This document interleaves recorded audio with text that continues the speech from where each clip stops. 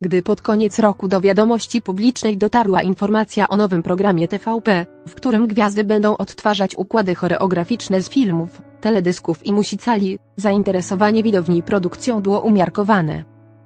Wygląda na to, że decyzja stacji o zatrudnieniu do pełnienia funkcji jurora Ewy Chodakowskiej okazało się strzałem w dziesiątkę, konflikt, w który trenerka fitness wdała się z uczestniczką tanecznego show, Pauliną Krupińską, już znacznie wpłynął na wyniki oglądalności.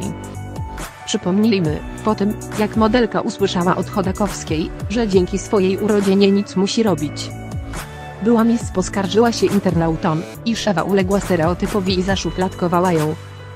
Słowa Krupińskiej rozedgabluścieczyły jurorkę, która zarzuciła Paulinie manipulację. Gdy ta miała celowo wykorzystać wybrane fragmenty jej oceny, by ukazać sportsmenkę w złym świetle. Jak poinformowała nas menadżerka Ewy, sprawą zajmie się prawnik, a konflikt może mieć swój finał w sądzie. Wiadomość o ewentualnym procesie z Chodakowską musiała zaniepokoić modelkę, która postanowiła wystosować oficjalne oświadczenie. Tłumacząc w nim, że wywołanie konfliktu ani też jego eskalacja nigdy nie było jej celem. Mając na uwadze sytuację, która w ostatnich dniach zaistniała pomiędzy mną a panią Ewą Chodakowską, chcę podkreślić, iż nigdy nie było moim celem wywołanie konfliktu ani też jego eskalacja.